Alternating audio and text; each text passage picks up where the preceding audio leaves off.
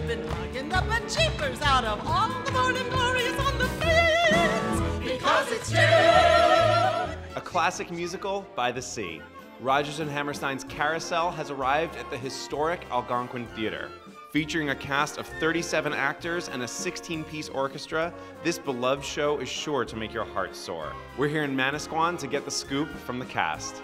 Tell us about Carousel. Carousel was Rodgers and Hammerstein's second musical collaboration together, as do some of their other musicals. It deals with difficult subject matter. It's a beautiful story, it's beautiful music, beautiful score. Richard Rodgers was later quoted as it being his favorite musical. Carousel is a haunting story about a carousel barker who finally finds love but doesn't know how to deal with it.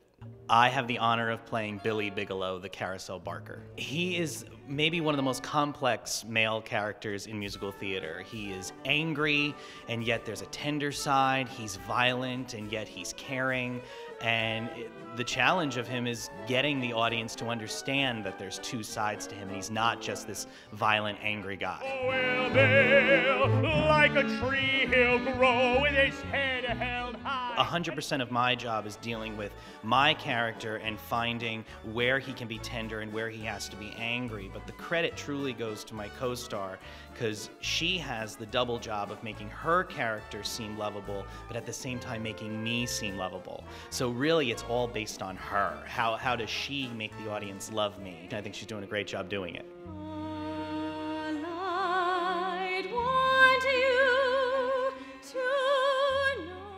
I play Julie Jordan. And what is she like?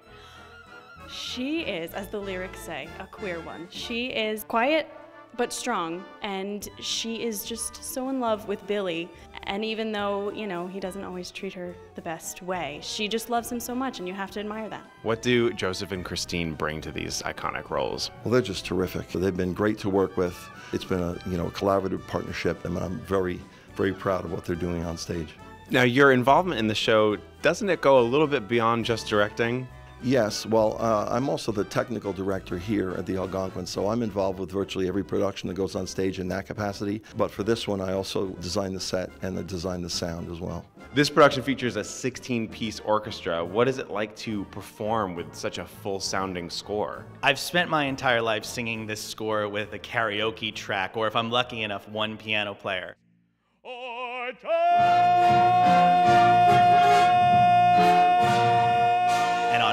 Wednesday night, I remember just thinking to myself, I am finally singing this with an orchestra. The adrenaline and the energy that went through my body hearing them was amazing.